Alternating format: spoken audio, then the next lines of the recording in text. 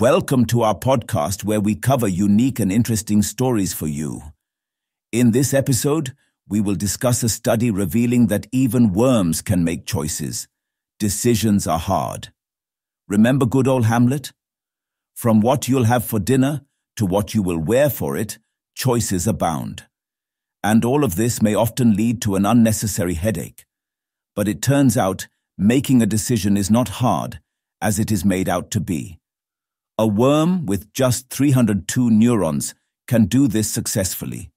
For comparison, humans have billions of neurons. The study in this regard was carried out by researchers in Salk Institute for Biological Studies in California. They studied a predatory worm called P. pacificus. The changes in the behavior of the worm was studied. It was seen when the worm would bite to save its food or when it would bite to kill a competitor. In order to check the worm's ability to targe decision, scientists relied more on its behavior rather than an extremely detailed study about how impulses traveled through the neurons.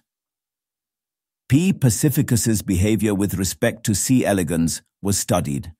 C. elegans is P. pacificus's competitor as well as its prey.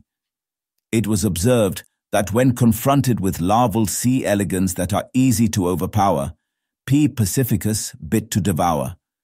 But when a fully grown C. elegans tried to steal its food, P. pacificus bit just to deter it.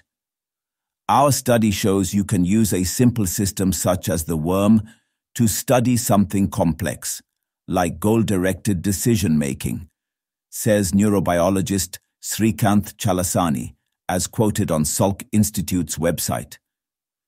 We also demonstrated that behavior can tell us a lot about how the brain works. That's all from this podcast. Thanks for tuning in. If you enjoyed this episode, be sure to subscribe and share your thoughts in the comments. Stay connected for more exciting discussions and updates in our next podcast.